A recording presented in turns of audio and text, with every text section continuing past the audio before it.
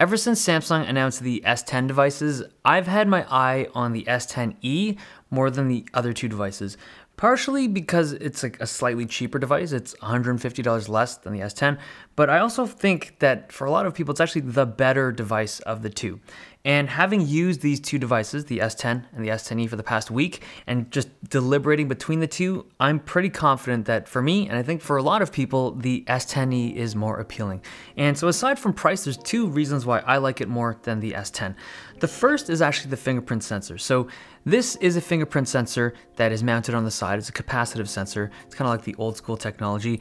Usually I find that side mounted fingerprint sensors aren't great. Like I've seen them on the Razer phone and other devices as well. There's some, like, for whatever reason, companies usually do fingerprint sensors on the side flush to the bezel. Like there's no real tactile feedback as to where it is. On the S10e, it's like a very obvious spot as to where the fingerprint sensor is. Like you can feel it blindfolded and it's a great sensor. It's a high quality capacitive sensor and it just works very reliably. Now it also has this feature where you can roll down on the fingerprint sensor and it works in a manner to just pull down the top menu. It does take some time to get used to. Like when I first set it up, I was accidentally pulling down the top very frequently. Like I would just turn on the phone and would pull down the top menu by accident, but once you get used to the sensitivity, I found it quite useful.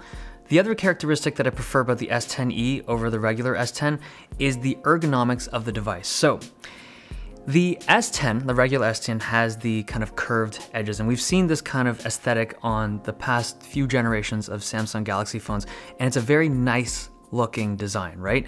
In the Samsung ads and renders, when they spin this device around in the videos and you can see the light kind of reflecting off the surface, it was sexy. Like it was 2015, they were one of the first companies to bend displays like that. It was really cool looking, but in 2019, four years later, this curved edge doesn't really give any kind of advantage to the screen. If anything, it actually makes the image look a little bit distorted when you're watching videos. I feel like for most people, a flat display, although it doesn't look as cool in videos and renders and stuff like that, is just a better device to hold. And if you're someone who likes to go caseless on a phone, it's smaller, it's got a more ergonomic design, throw a skin on it, you're good to go.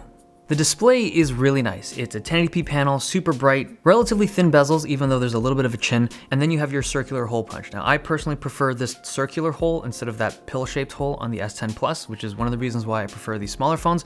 Now, if you compare the displays of the S10 to the S10e side by side, there is no doubt in my mind that the S10 has a better looking display. It's higher resolution, and anyone who says that they're identical is a filthy liar. The S10 does have a better display, but the S10e display is awesome. It is a pen tile display, so at 1080p resolution, it's not like as sharp as you might think based on the numbers, but I really like this screen.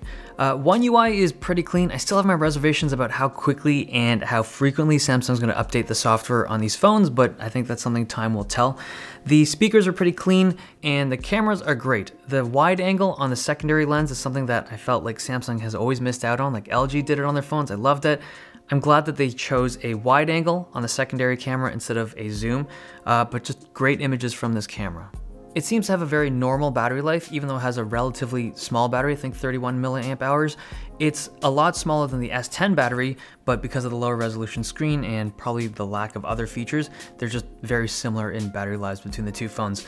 The reverse wireless charging is something that's kind of cool in this phone, but it's a feature that I probably won't use very often. I just don't have enough wireless accessories to make use of it, but if you do, it's there. There are a few things I don't love. Uh, Bixby is still here, and the way they've implemented the whole Bixby button customization doesn't allow you to fully remove it, like you can set it to a double tap instead of the single tap, which is better than nothing, but I just like to see it completely gone. I feel like hardware buttons for assistance shouldn't be a thing. Other things I don't love about it, I wish the power button was a little bit lower than it is. Like this is relatively high up on the frame. This is something that affects all the S10 devices, but that's a minor complaint. Um, oh, if you're interested or curious, if you're left-handed and you want to use the fingerprint sensor, I've tested it. So if you're left-handed, you're probably turning on this phone with kind of like the side of your finger, either your index or middle finger, and it just works perfectly fine. You just have to map that part of your finger to the fingerprint sensor and it works.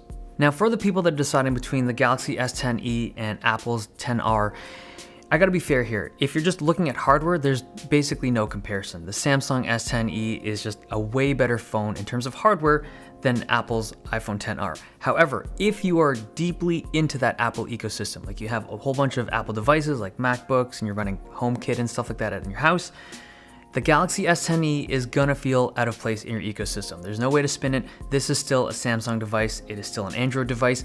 And as good as the hardware is, I can see why people would opt for the 10R. like as, as much of a joke of a phone as this is to some people, there still is that software debate. But if you're not locked into that ecosystem or if you're trying to bust out of it, the Galaxy S10e should be the choice between the two. So overall, S10e, such a good phone. It's small, great hardware, great camera, headphone jack. There's like so much I like about this phone.